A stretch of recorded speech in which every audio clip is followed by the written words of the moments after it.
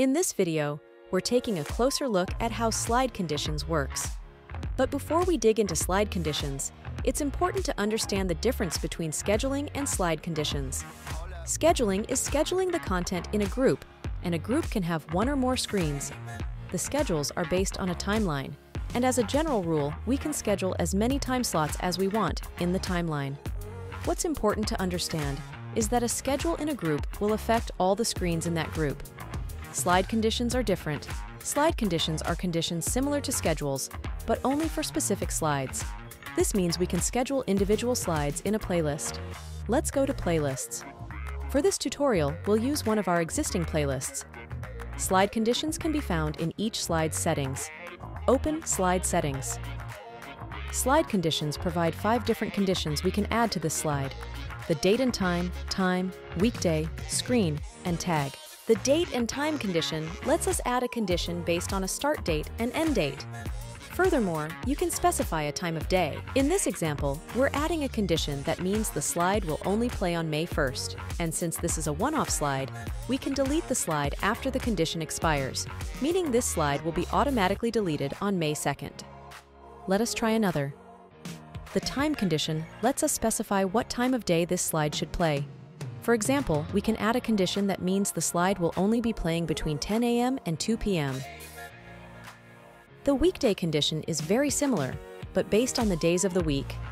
We can add a condition for Friday and Saturday, meaning this slide will only play on Fridays and Saturdays.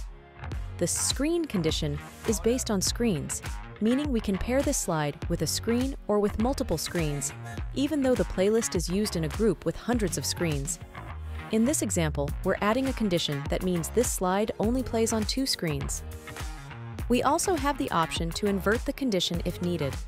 What this means is that the slide will play on all other screens than the ones chosen in the condition, in this case, our Sony Android TV. The last type of condition is based on tags.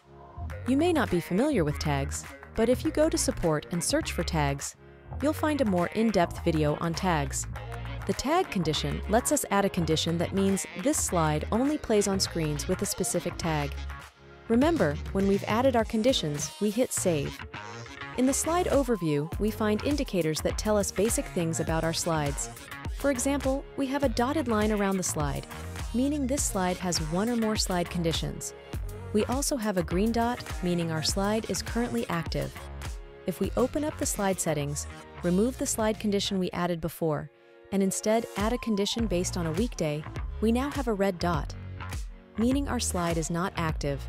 One last thing to note is that we can add multiple conditions to a slide. Let's add a couple of conditions to this slide.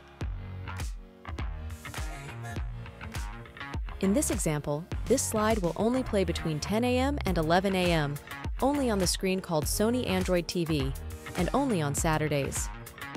If we look at slides with no slide conditions, we do not have the dotted line, and we do not have any colored indicators. Thanks for watching.